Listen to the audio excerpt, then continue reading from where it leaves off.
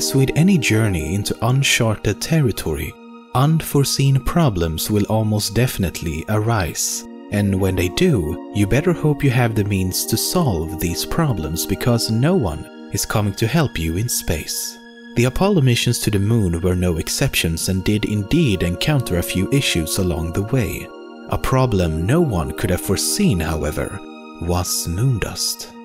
The moon is covered with an extremely fine powder-like substance. At first glance, it's harmless. I mean, after all, it's just dust. But as the Apollo astronauts would discover, it wasn't as harmless as it first seemed. Moon dust is created by micrometeorite impacts which completely pulverize the lunar surface. Because there's no wind or any other natural elements on the moon which can gradually erode these tiny particles and fragments, they remain extremely sharp.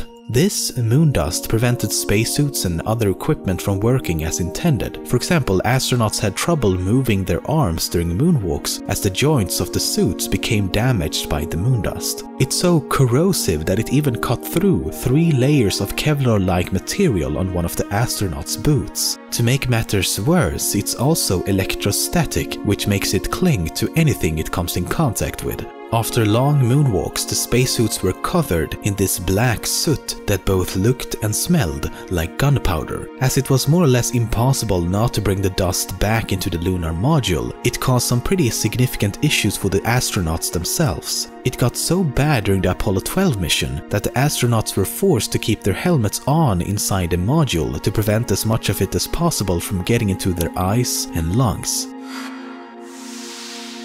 Does life exist beyond the Earth? I've talked about this many times before and of course the answer is always, we don't know. But that isn't technically true. We can almost certainly say that life does exist on both the moon and on Mars. When NASA and other space agencies send stuff and people to other worlds in the solar system, they go through meticulous stages of sterilization. But there's a great irony in this sterilization process, because while these harshly sterilized environments do indeed get rid of bacteria and other microbial life forms that we do not want to contaminate other celestial bodies with, they also provide the perfect conditions for bacteria that can survive in space and thus other planets. Essentially, we're able to remove almost everything except the things that have the greatest chance of surviving in space. However, just because they hitch a ride to another world does not mean we'll see Martians or Moon Moontians anytime soon. It's more than likely that these extremophiles will eventually die instead of evolving into something new. Still, it is now for the first time in our history technically wrong to say that the Earth is the only place in the universe with life.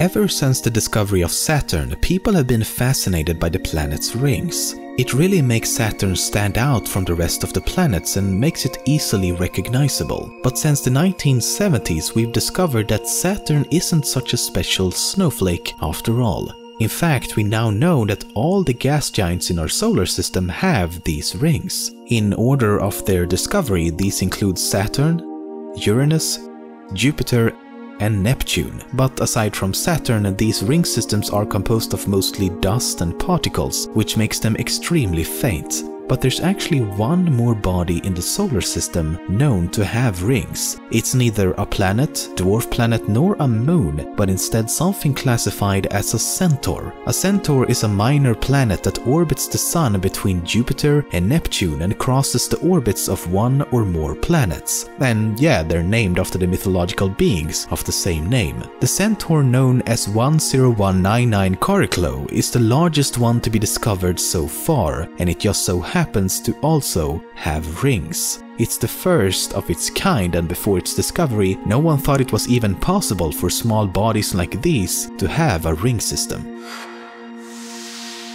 Personally, I think one of the most amazing things about space is weightlessness. Floating around without the constant struggle against gravity must be an incredibly alleviating sensation. But weightlessness causes the human body to behave in ways that make completely normal things not so normal. For example, you can't burp in space. The reason we burp is because air enters our stomach while we eat or drink, for example. But our stomach doesn't really like air and other gases, so it tries to push it back out. All the food and liquid stays at the bottom while the unwanted gases is pushed to the top. But it's only able to do this because of gravity. In the absence of gravity or in microgravity, all the gas, liquids and food are unable to separate which makes it difficult to only push gas back out again. This will cause you to slightly vomit instead of simply burping and is known as a wet burp.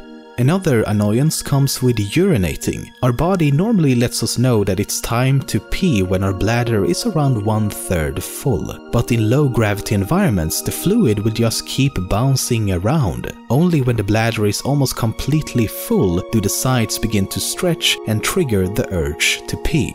Even something as basic as sleep can be quite dangerous and even life-threatening if not done correctly. What you need to make sure of before you go to sleep in space is that you have to have good ventilation around you. Because if you don't, there's a risk that you'll end up with a bubble of your own exhaled carbon dioxide. This will result in oxygen starvation and, best case, you'll wake up with a severe headache, struggling to breathe. Being an astronaut requires you to be exceptional at a lot of things. One example is that you need to be able to remain calm and focused during very stressful situations. But that's of course easier said than done given that when you're out on a spacewalk, there's only a suit between you and the vacuum of space. Now, what if, against all odds, your spacesuit began filling with water? In 2013, this is exactly what happened to Italian astronaut Luca Parmitano while performing repairs on the ISS. Roughly an hour into the spacewalk, he noticed that his helmet was slowly filling with water. As he reported this to the people on the ground, the volume of the water just kept on increasing and at the time they couldn't figure out where it was coming from. Eventually it was deemed that there was a chance of him actually drowning in his own suit, so the mission was quickly aborted. It was later revealed that the liquid cooling system in the suit had caused a leak. Of course, Parmitano, being a trained professional, remained completely calm when faced with the possibility of being the first man to drown in space.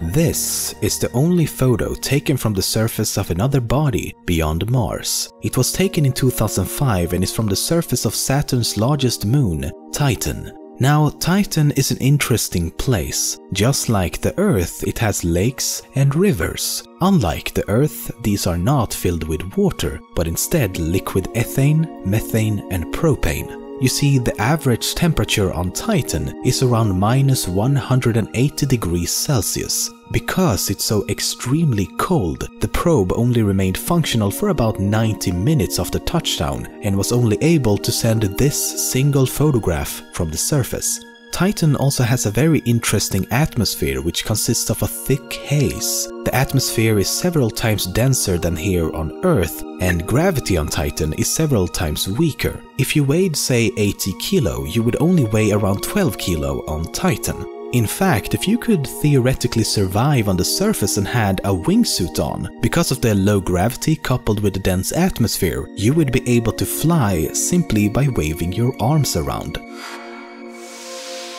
In 1936, just before the eruption of World War II, Adolf Hitler made a speech during the Olympic Games opening ceremony, which was broadcasted to 41 countries across the globe, reaching millions of people. It's significant because it was broadcasted at a very high frequency, which likely allowed the signals to get through the Earth's ionosphere. In other words, the signals were able to escape the Earth and continued out into space. This has led some to believe that one of the first things potential aliens might hear are the words of Adolf Hitler. In fact, this is the exact plot for the book written by Carl Sagan titled Contact. It was even made into a movie in 1997. But this is only within the realm of science fiction and could never actually happen in real life. You see, many TV shows and other signals like these will drastically diffuse over time and at best will only be able to propagate a couple of light years away before they become identical to background noise. It's something known as inverse square law, even if some of these signals inexplicably made it to some of the closest exoplanets to the Earth, and we assume that intelligent extraterrestrials do exist on one of these planets, and these aliens just happens to aim the correct technology able to pick up these unbelievably weak and quiet signals towards the Earth, they would still most likely not be able to extract any audio, visuals or other tangible information from these signals. They would simply be too feeble and diluted once they get there. However, given that they can detect these signals in the first place, they would likely recognize them as technological signatures, something that could not have occurred naturally in space and would thus give them a confirmation to the eternal question, are we alone in the universe? When we think of planets, we think of them as orbiting around a star. In fact, a planet is defined as a celestial body moving in an elliptical orbit round a star. But what if something should happen to that star which leaves the planet all alone? Or if something happens to the planet which causes it to slingshot away from its star system on an endless, lonesome journey through the cosmos? Astronomers have theorized about the existence of such rogue planets for decades, and it's only recently that we've actually found them. But they can be incredibly difficult to discover. After all, once they leave their parent star, they become near invisible against the blackness of space. The planet will find itself in an eternal state of night and the only visible light will come from the galaxy itself. Some estimate that there could be billions of rogue planets in the Milky Way alone, and so far we've only found a handful, most of which could just as well be brown dwarfs, or in other words, a failed star. But the concept of a rogue planet gives rise to a whole set of new questions. One of the most perplexing could life potentially exist and survive on a planet without a star? Maybe. If it's a planet with a lot of water, that water will obviously freeze as it's exposed to the near absolute zero temperatures of space. But ice is actually a pretty good insulator, so if the ocean is at least a few tens of kilometers deep, the water will remain liquid at the bottom because of the heat internally generated by the planet's core. Life could then thrive around hotspots like hydrothermal vents on the ocean floor. Another alternative would be if the planet had an extremely hydrogen-rich atmosphere. It would need to be tens or even hundreds of times thicker than the atmosphere here on Earth, which would then act as an insulator to retain liquid water even at the surface. Orbital debris, which is any man-made object in orbit around our planet which doesn't serve any useful purpose, is becoming an increasing problem. We're currently tracking around 600,000 pieces of debris larger than 1 centimeter. Roughly 30,000 of these are over 1 decimeter wide, but there's still many hundreds of millions of pieces which are simply too small to keep track of. What's so dangerous about these seemingly insignificant tiny fragments is the speed at which they travel. They orbit the Earth at speeds up to 28,000 kilometers per hour. Even something as tiny as flecks of paint can be disastrous when traveling at these velocities. In fact, a number of space shuttle windows have been replaced simply because of damage caused by flecks of paint. Usually when a tracked piece of debris is about to collide with a functional spacecraft, a so-called debris avoidance maneuver is performed. This actually happens all the time and even aboard ISS in which the entire space station is moved a few kilometers to avoid a potential collision. But the thing is, we may already have crossed a point of no return. Even if we stop sending anything into space right this moment, it will continue to get worse. You see, the amount of debris which is already in orbit will continue to collide with each other and thus create even more debris. So far the problem is manageable, but a solution needs to be found quickly. And while NASA and many others are working on solutions, it's not an easy problem to solve. I mean, the sheer scale and cost of resolving this issue is like nothing we've ever seen before, and if we do nothing, we will quite literally enclose the Earth in a blanket of garbage. There's something known as the overview effect. Many astronauts and cosmonauts alike have reported a strong sensation of euphoria and even a significant cognitive shift in their perspective on life as well as themselves once they saw the Earth from a distance. Many have explained it as an overwhelming sensation that everything in the universe is somehow connected, but national boundaries completely vanish, coupled with the realization that our world is incredibly fragile. It sounds like they're high, right? Maybe someone brought a little something with them on their trip to space, who, who knows? But at the same time, it seems like a quite reasonable reaction. Looking back at the Earth from a distance must be an experience like none other. And what makes it so interesting is that it's not an isolated incident. Many people who have returned from space after looking back at our planet, either from orbit or from the moon, have explained the sensation in a very similar fashion. Psychologists, neuroscientists and physicians have all reported that many of these people have had a notable shift in their behavior and outlook on life and the world. To end this video, here's a quote from astronaut Edgar D. Mitchell describing what he experienced upon seeing the Earth from the moon. You develop an instant global consciousness, a people orientation, an intense dissatisfaction with the state of the world and a compulsion to do something about it. From out there on the moon, international politics looks so petty. You want to grab a politician by the scruff of their neck and drag him a quarter of a million miles out and say, Look at that, you son of a bitch.